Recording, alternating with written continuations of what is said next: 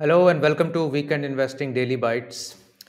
Uh, before we start the episode, the special announcement uh, MI Evergreen offer that has been running since the New Year's is coming to a close today, 10th of January, midnight. Please make use of it if you haven't so far. The code is New Year 30.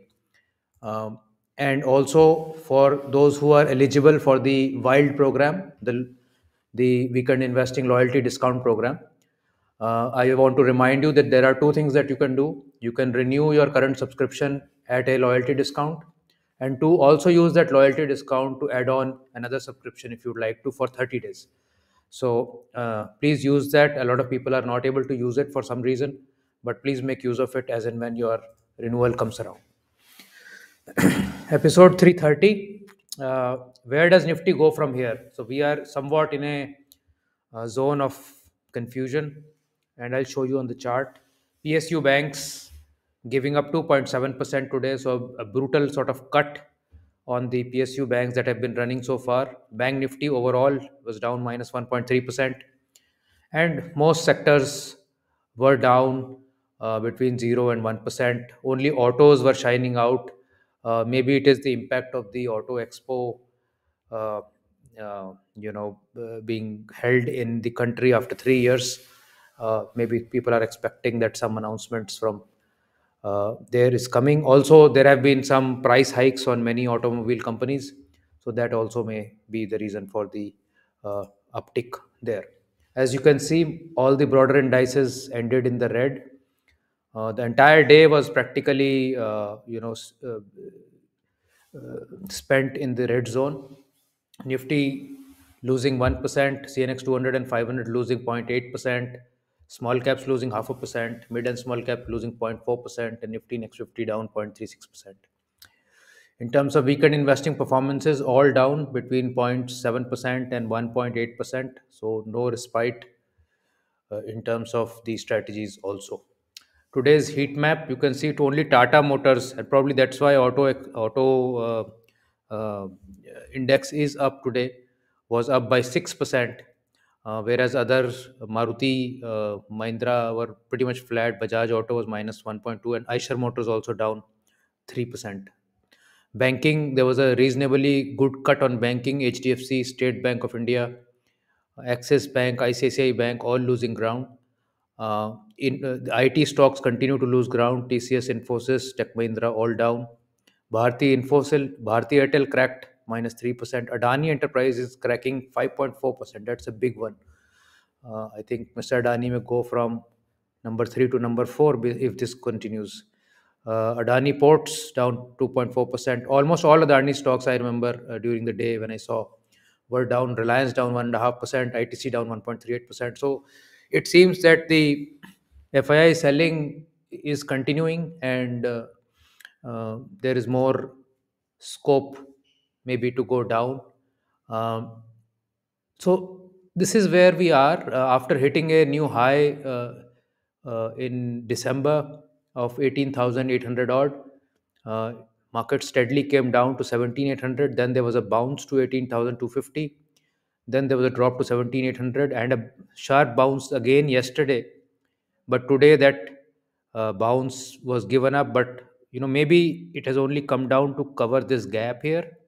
Nifty had a gap here, so I am still hopeful that it can still go up. And if 18 to 50 gets broken taken out then i think uh, we are headed towards 18800 again so this channel is is going to be crucial if we break down from here then of course you know maybe another 1000 points uh, may be gone because this is a very important support channel that you can see here this is also the 200 dma at 17250 uh, my sense is that if we break this 17800 we are down to 16750 uh, that's the kind of uh, two-way zone that we have built in. Either we are going to 18800 or we are going to 16750. A lot of people will say, you know, you should uh, forecast one way, you know, which way we are going. But I can very uh, honestly say that I am no forecaster and I really cannot forecast any index or any stock, but I can only give the setups that if this is happening, if this pivot take gets taken out,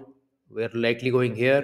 but if this uh, support gets taken out we are likely coming down here or here and that's the best uh, sort of on a probability basis what you can see also you can see uh, last 15 months uh, nifty is pretty much uh, sideways range bound. It is digesting the the early uh, sort of gains we had two years in, in, the, in the two years before this. Earnings are catching up. And this is a very beautiful chart from uh, uh, nifty i should have wrote written this here. Uh, peratio.com one second where was it? Hmm.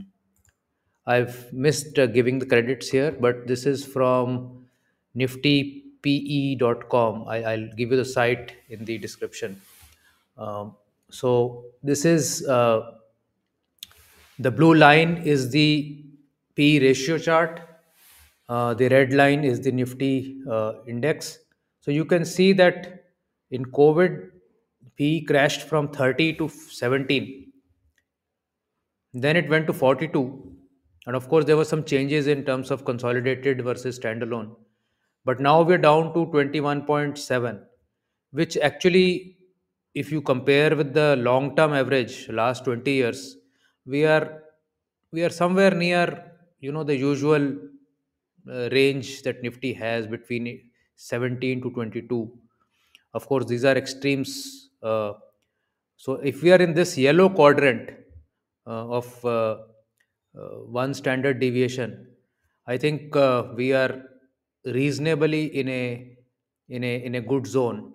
So this is something that uh, we are uh, reasonably confident that although we don't uh, use uh, PE ratios or any fundamentals for uh, the strategies, but overall, as a market, I think the the valuation has come off, and that's what the current market is digesting. The earnings continue to go up, whereas the market remains stagnant. So the PE ratios come down.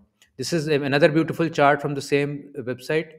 Uh, here you can see uh, 2020, 2020 March, you can see PE ratios crashing to 20, and then they went into the red zone, uh, going up to 40, 41, then coming off, and now they're down to 2175. So just looking at this chart, you can say that you know we are not really in high risk zone as such uh, when it comes to the uh, market from a PE perspective, which may or may not be correct. Uh, I mean, that's another uh, debate.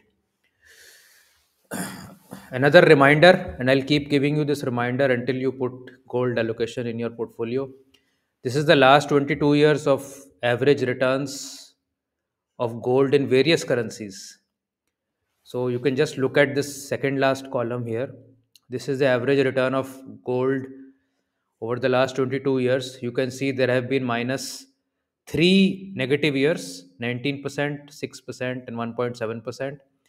And there have been several double digit, high double digit returns also. The average being 12.2% over these 22, 22, 23 years. So you know this is right in this is sort of egg in the face of those who say that gold has no returns. Uh, you know don't listen to people who don't understand various asset classes.